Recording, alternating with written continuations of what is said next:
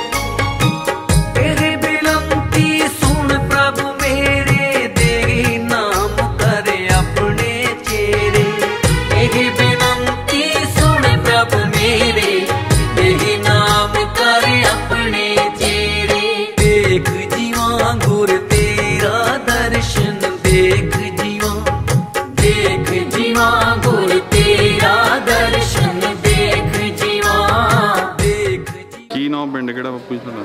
ਮੇਰਾ ਨਾਮ ਕੈਰਾ ਸਿੰਘ ਜੀ ਪਿੰਡ ਮਾਰਸਾ ਮੰਡੀ ਹੈ। ਅੱਜ ਇਹ ਕੈਂਪ ਲੱਗਣਾ ਕਿਸ ਤਰ੍ਹਾਂ ਪਤਾ ਲੱਗਾ ਸੀ? ਕੈਂਪ ਦਾ ਜੀ ਇਹ ਜੋ ਪਹਿਲਾਂ ਮੈਂਬਰ ਆਏ ਸੀ ਕੈਂਪ ਵਾਲੇ ਉਹ 10 12 ਦਿਨ ਪਹਿਲਾਂ ਕਹਿ ਗਏ ਸੀ ਵੀ 14 ਤਰੀਕ ਨੂੰ ਇੱਥੇ ਕੈਂਪ ਲੱਗਣਾ ਹੈ। ਤੇ ਡਾਕਟਰ ਨੇ ਦਿਖਾ ਲਿਆ ਕੀ ਦੱਸਿਆ ਡਾਕਟਰ ਨੇ? ਡਾਕਟਰ ਸਾਹਿਬ ਕਹਿਣ ਲੱਗੇ ਨੇ ਵੀ ਇਹ ਆਪਰੇਸ਼ਨ ਹੋਊਗਾ ਸਾਡਾ ਪਹਿਲਾਂ ਕਦੋਂ ਅੱਖਾਂ ਦਿਖਾਈਆਂ ਸੀ? ਪਹਿਲਾਂ ਪਿਛਲੇ ਸਾਲ ਦਿਖਾਈ ਜੀ ਅੱਜ ਕੱਲ੍ਹ ਦੇ ਹਿਸਾਬ ਕਿਤਾਬ ਤੇ ਕੈਂਪ ਲੱਗਿਆ ਸੀ। ਹਾਂਜੀ ਫੇਰ ਕੀ ਦੱਸਿਆ ਸੀ ਡਾਕਟਰ ਨੇ? ਡਾਕਟਰ ਸਾਹਿਬ ਨੇ ਦੱਸਿਆ ਵੀ ਆਪਰੇਸ਼ਨ ਕਰਦਾ ਜੀ ਇਸ ਅੱਖ ਦਾ ਜਿਹੜੀ ਦੂਸਰੀ ਅੱਖ ਦਾ ਆਪਰੇਸ਼ਨ ਡਾਕਟਰ ਸਾਹਿਬ ਨੇ ਹੁਣ ਕਹਿ ਵੀ ਹੁਣ ਕਰਵਾਓ ਪਹਿਲੀ ਦਾ ਜਿਹੜਾ ਕਰਾਇਆ ਸੀ ਠੀਕ ਹੈ? ਹਾਂ ਜੀ ਬਿਲਕੁਲ ਠੀਕ ਹੈ। ਕੋਈ ਸ਼ਿਕਾਇਤ ਕੋਈ ਦਿੱਕਤ ਨਹੀਂ? ਕੋਈ ਡਾਲ ਦਿੱਕਤ ਨਹੀਂ ਹੈ ਬਿਲਕੁਲ ਠੀਕ ਹੈ ਸਹੀ ਹੈ। ਬਾਪੂ ਜੀ ਕੀ ਨਾਮ ਤੁਹਾਡਾ? ਰੋਦੂ ਸਿੰਘ ਪਿੰਡ ਕਿਹੜਾ ਜੀ? ਮਾਨਸਾ ਜੀ। ਤੇ ਡਾਕਟਰ ਨੂੰ ਅੱਜ ਦਿਖਾ ਲਿਆ ਡਾਕਟਰ ਨੇ ਕੀ ਦੱਸਿਆ ਜੀ? ਆਪਰੇਸ਼ਨ ਹੋਊਗਾ ਜੀ। ਹਾਂਜੀ। ਆਪਰੇਸ਼ਨ ਹੋਊਗਾ। ਚੰਗੀ ਤਰ੍ਹਾਂ ਚੈੱਕ ਕੀਤਾ ਜੀ। ਉਹ ਕਹਿੰਦੇ ਸੀ ਮੈਂ ਕਿਹਾ ਉਹ ਕਹਿੰਦੇ ਆਪਰੇਸ਼ਨ ਕਰ ਲਈ ਜਾਂ ਕਿਵੇਂ? ਜਿਵੇਂ ਤੁਹਾਨੂੰ ਪਾਉਂਦਾ ਵਾ। ਇਹ ਖੁਸ਼ੀ ਦੀ ਗੱਲ ਹੈ ਵੀ ਮੇਰੀ ਪਰ ਮਦਦ ਕਰ ਸੁਖਮੰਦਰ ਸਿੰਘ ਜੀ ਪਿੰਡ ਜੀ। ਨੰਗਲ ਕਲਾਂ। ਕੀ ਤਕਲੀਫ ਆ ਤੁਹਾਨੂੰ ਅੱਖਾਂ ਦੀ ਉਹ ਹੈ ਜੀ। ਦੋਨਾਂ ਅੱਖਾਂ ਜੀ ਆ ਨਾ ਡਾਕਟਰ ਨੇ ਦੱਸਿਆ ਪਰਚੀ ਮੈਂ ਲਿਆ ਨਹੀਂ ਜੀ 2 ਸਾਲ ਮੰਗੂ ਹੋ ਗਿਆ ਜੀ। ਵੀ ਲੈਂਚ ਪੈਂਦਾ। ਪਹਿਲਾਂ ਕਹਿੰਦਾ ਇਹਦੇ 'ਚ ਪਵਾ ਲਈ ਇਹਦੇ 'ਚ ਤੇਰੇ ਬਾਅਦ 'ਚ ਪਾ ਦੇਣਗੇ ਘਰੇ ਜੀ ਸਿੱਧੀ ਗੱਲ ਹੈ ਕੋਈ ਲੋਟ ਨਹੀਂ ਆਇਆ ਕਬੀਲਦਾਰੀ 'ਚ ਚਾਹੇ ਤਾਂ ਲੋਟ ਨਹੀਂ ਆਉਂਦਾ। ਕਿਹੜੇ ਡਾਕਟਰ ਨੂੰ ਦਿਖਾਇਆ ਸੀ ਔਰ ਕਦੋਂ ਕੁ ਦਿਖਾਇਆ ਇਹ ਤੁਸੀਂ ਜੀ ਸੂਟ ਕ ਡਾਕਟਰ ਨੂੰ ਜਿਹੜਾ ਸਰਕਾਰੀ ਹਸਪਤਾਲ 'ਚ ਹੈ। ਹੁਣ ਜੀ। ਤਾਂ ਮੈਂ ਦਿਖਾਉਂਦਾ ਹੀ ਰਹਿਣਾ ਜੀ ਦਵਾਈ ਲਿਜਾਂਦਾ ਰਿਹਾ ਤੋਂ ਹੂੰ। ਸ਼ੀਸ਼ੀਆਂ ਲਿਜਾਂਦਾ ਰਿਹਾ। ਉਹ ਕਹਿੰਦਾ ਤੇਰਾ ਤਾਂ ਆਪਰੇਸ਼ਨ ਹੋਊਗਾ ਹੂੰ ਦੋਨਾਂ ਅੱਖਾਂ ਲਈ ਹੋਊ ਤੇਰਾ ਤਾਂ ਚਿੱਟਾ ਮੋਟ ਗਿਆ ਤੇ ਪਹਿਲਾਂ ਕਿਉਂ ਨਹੀਂ ਕਰਾਇਆ ਫਿਰ ਤੁਸੀਂ ਇਹ? ਪਹਿਲਾਂ ਜੀ ਪੈਸੇ ਪੂਸਿਆਂ ਦਾ ਨਹੀਂ ਲੋਟ ਆਇਆ ਜੀ ਸਿੱਧੀ ਜੀ ਗੱਲ ਹੈ। ਹੂੰ ਤੇ ਹੁਣ ਫਿਰ ਇੱਥੇ ਅੱਜ ਕੈਂਪ ਲੱਗਿਆ ਕਿਦਾਂ ਕਿਸ ਤਰ੍ਹਾਂ ਪਤਾ ਲੱਗਾ ਇੱਥੇ ਵੀ ਇੱਥੇ ਕੈਂਪ ਇੱਥੇ ਜੀ ਸਾਡੇ ਪਿੰਡੋਂ ਮਿਸਤਰੀ ਲੱਗਿਆ ਸੀਗਾ ਉਹਨਾਂ ਨੇ ਦੱਸਿਆ ਜੀ ਸਾਨੂੰ ਹੈ। ਸ਼ਾਬਾਸ਼ ਹੈ ਜੀ ਬਸ ਇਹਨਾਂ ਭਲਾ ਹੋਵੇ ਇਹਨਾਂ ਦਾ ਇਹਨਾਂ ਦੀਆਂ ਜੜਾਂ ਪਤਾਲ ਕੇ ਲੱਗਣ। ਭਲੇ ਹੀ ਹੋਊ ਇਹਨਾਂ ਦਾ ਸੱਚੇ ਪਾਤਸ਼ਾਹ ਕਰੂਗਾ। ਪਿੰਡ ਕਿਹੜਾ ਜੀ? ਪਿੰਡ ਜੀ ਮਾਨਸਾ। ਨਾਂ ਕੀ ਆ? ਸੰਭੂ ਰਾਮ। ਕੈਂਪ ਬਾਰੇ ਕਿਸ ਤਰ੍ਹਾਂ ਪਤਾ ਲੱਗਾ ਸੀਗਾ? ਵੀ ਅੱਜ ਇੱਥੇ ਕੈਂਪ ਲੱਗਣਾ। ਉਹ ਗਾਹਾਂ ਜੀ ਕਿਸੇ ਜਿਹਨੂੰ ਪਤਾ ਸੀਗਾ ਉਹਨੂੰ ਦੱਸਦਾ ਸੀਗਾ ਜਿਹੜੇ ਸੌਦਾ ਹੁੰਦੇ ਜਾਂਦੇ ਨੇਗੇ ਹੂੰ। ਹੁਣ ਤਾਂ ਜੀ ਇਹ ਦੱਸਿਆ ਵੀ ਆਹ ਆ ਦਵਾਈ ਦੇ ਸੀ ਤੇ ਆਹ ਨਿਕਲਿਆ ਦੇਖਦਾ ਹੈ ਜ਼ਰੂਰ ਵੀ ਉਹ ਬੰਦੇ ਜਾਂਦੇ ਵੀ ਨੇ ਉਹ ਦਰਖਤ ਵੀ ਖੜਾ ਕਿਸੇ ਨੇ ਕੋਈ ਪੈਸਾ ਮਿਲਿਆ ਹੋਵੇ ਪਰਚੀ ਦਾ ਜਾਂ ਐਨਕਾਂ ਨਾ ਦਾ? ਜੀ ਨਾ ਨਾ ਕੁਛ ਨਹੀਂ ਐਵੇਂ ਝੂਠ ਨਹੀਂ ਧੰਨਵਾਦ ਜੀ। ਗਰੀਬਾਂ ਦੀ ਜਿਹੜੀ ਸੇਵਾ ਕਰਦੇ ਨੇਗੇ। ਹਾਂਜੀ ਉਰੇ ਸਾਨੂੰ ਪਤਾ ਲੱਗਿਆ ਵੀ ਅੱਖਾਂ ਦਾ ਕੰਪ ਲੱਗ ਰਿਹਾ ਹੈ ਸੰਧੂ ਆਸਰਮ ਦੇ ਵਿੱਚ। ਇਹਨਾਂ ਅਨਾਉਂਸਮੈਂਟ ਕੀਤੀ ਸੀ ਵੀ ਜਿਹੜਾ ਵੀ ਭਰਾ ਉਰੇ ਭਰਾ ਕੋਈ ਵੀ ਬਜ਼ੁਰਗ ਭੈਣ ਵੀਰ ਅੱਖ- ਅੱਖਾਂ ਦਿਖਾ ਸਕਦਾ ਫ੍ਰੀ ਕੰਪ। ਪ੍ਰਸ਼ਾਦਾ ਫ੍ਰੀ ਆਉਣ ਜਾਣ ਦਾ ਫ੍ਰੀ ਇੱਥੋਂ ਲੈ ਕੇ ਜਾਵਾਂਗੇ ਉਰੇ ਲਿਆ ਕੇ ਛੱਡਾਂਗੇ।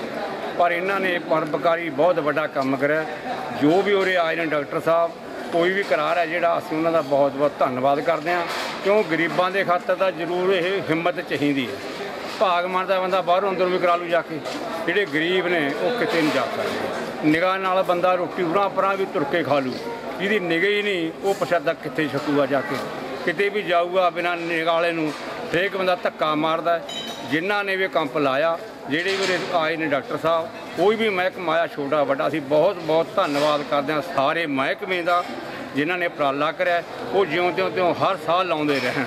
ਮਾਂਗੁਰ ਤੇਰਾ ਦਰਸ਼ਨ ਦੇਖ ਜੀਵਾ, ਦਰਸ਼ਨ ਦੇਖ ਜੀਵਾ ਗੁਰ ਤੇਰਾ ਪੂਰਨ ਕਰਮ ਹੋਏ ਪ੍ਰਭ ਮੇਰਾ। ਦਰਸ਼ਨ ਦੇਖ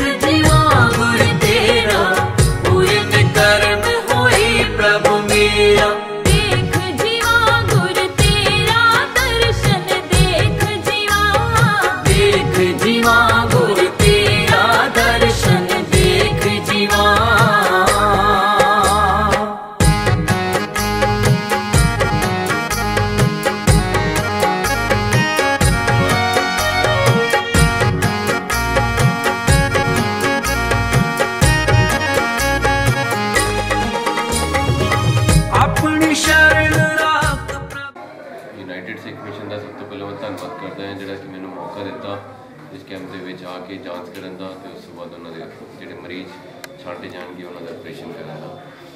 ਮੇਰਾ ਯੂਨਾਈਟਿਡ ਸਿੱਖ ਮਿਸ਼ਨ ਦੇ ਨਾਲ ਆ ਦਸਵਾਂ ਕੈਂਪ ਹੈਗਾ। ਹਰ ਸਾਲ ਤਿੰਨ ਤੋਂ ਚਾਰ ਕੈਂਪ ਮੈਨੂੰ ਮਿਲਦੇ, ਜਿਨ੍ਹਾਂ ਤੋਂ ਮੈਂ ਸੇਵਾ ਕਰਦਾ ਹਾਂ ਤੇ ਪਿਛਲੇ 4 ਸਾਲਾਂ ਤੋਂ ਮੈਂ ਜੁੜਾ ਹੈ ਇਸ ਮਿਸ਼ਨ ਦੇ ਨਾਲ। ਮੈਨੂੰ ਵਧੀਆ ਲੱਗਦਾ ਹੈਗਾ, ਕਿਉਂਕਿ ਮੇਰੇ ਕੋਲ ਇੰਨੇ ਸਾਰੇ ਪੇਸ਼ੈਂਟਸ ਚੈੱਕਅਪ ਕਰਨ ਨੂੰ ਮਿਲਦੇ ਹੈਗੇ ਤੇ ਉਹਨਾਂ ਦੀ ਇੱਕ ਤਰੀਕੇ ਨਾਲ ਸੇਵਾ ਹੋ ਜਾਂਦੀ ਹੈ। ਅੱਜ ਇੱਕ ਕੈਂਪ ਜਿਹੜਾ ਅਸੀਂ ਲਾਇਆ ਮਾਨਸਾ ਵਿਖੇ ਸੰਧੂ ਆਸ਼ਰਮ ਵਿੱਚ ਲਾਇਆ ਹੈ। ਜਿਹਦੇ ਵਿੱਚ ਕਈ ਮਰੀਜ਼ਾਂ ਦੇ ਆਪਾਂ ਚੈੱਕਅਪ ਕੀਤਾ ਹੈ ਤੇ ਲਗਭਗ 60 ਮਰੀਜ਼ਾਂ ਨੂੰ ਆਪਾਂ ਆਪਰੇਸ਼ਨ ਬਾਰੇ ਦੱਸਿਆ ਹੈ। ਇਸ ਕੈਂਪ ਦੇ ਵਿੱਚ ਦਵਾਈ ਬਿਲਕੁਲ ਮੁਫਤ ਵੰਡੀ ਗਈ ਤੇ ਐਨਕਾਂ ਵੀ ਮੁਫਤ ਦਿੱਤੀਆਂ ਗਈਆਂ ਜਿਹੜੇ ਸਿਲੈਕਟ ਕੀਤੇ ਪੇਸ਼ੈਂਟ ਡਾਕਟਰ ਸਾਹਿਬ ਉਹਨਾਂ ਦਾ ਫਰਦਰ ਐਗਜ਼ਾਮੀਨੇਸ਼ਨ ਜਿਹੜਾ ਕੀ ਕੀਤਾ ਜਾਊਗਾ ਉਹ ਆਪਾਂ ਰਾਮਪੁਰੇ ਹੁਣ ਪੇਸ਼ੈਂਟਸ ਨੂੰ ਭੇਜ ਦਿੱਤਾ ਹੈਗਾ ਤੇ ਉੱਥੇ ਪ੍ਰੋਪਰ ਚੈੱਕਅਪ ਹੋਊਗਾ ਸਾਰੀ ਮਸ਼ੀਨਾਂ ਤੇ ਉਸ ਤੋਂ ਬਾਅਦ ਉਹਨਾਂ ਦੇ ਲੈਂਸ ਪਾਏ ਜਾਣਗੇ ਸ਼ਾਮ ਨੂੰ। ਤੇ ਸਭ ਤੋਂ ਵੱਡੀ ਚੀਜ਼ ਮੈਂ ਦੇਖੀ ਕਈ ਪੇਸ਼ੈਂਟਸ ਮੇਰੇ ਕੋਲ ਆਏ ਜਿਨ੍ਹਾਂ ਦੇ ਵਿੱਚ ਉਹਨਾਂ ਨੇ ਕਦੇ ਅੱਖ ਨੂੰ ਚੈੱਕ ਹੀ ਨਹੀਂ ਕਰਾਇਆ ਸੀ। ਉਹਨਾਂ ਦਾ ਮੋਤੀਆ ਤਾਂ ਇੰਨਾ ਪੱਕ ਗਿਆ ਸੀ ਕਿ ਵੀ ਕੁਝ ਵੀ ਨਹੀਂ ਦਿਖ ਰਿਹਾ ਸੀ ਉਹਨਾਂ ਨੂੰ। ਇਹੋ ਜਿਹੇ ਪੇਸ਼ੈਂਟਸ ਇਹ ਤਾਂ ਬਹੁਤ ਮਦਦ ਹੋ ਜਾਂਦੀ ਹੈ। ਉਹਨਾਂ ਮੈਨੂੰ ਐਂ ਲੱਗਦਾ ਉਹ ਕਦੇ ਜਾ ਕੇ ਆਪ ਚੈੱਕ ਕਰਵਾ ਵੀ ਨਹੀਂ ਸਕਦੇ ਸੀਗੇ ਨਾ ਹੀ ਉਹਨਾਂ ਨੇ ਕਰਾਉਣਾ ਸੀਗਾ ਅੱਗੇ। ਇਹੋ ਜਿਹੇ ਕੈਂਪਸ ਉਹਨਾਂ ਪੇਸ਼ੈਂਟਸ ਲਈ ਬਹੁਤ ਹੈਲਪਫੁਲ ਹੁੰਦੇ ਆ। we just serve the needy people and uh, it's a in turn they give a blessing to us. Thank you. ਸਕਦਾ ਤੇ ਗੁਰ ਪ੍ਰਸਾਦ ਕਿਨੇ ਵੀਰ?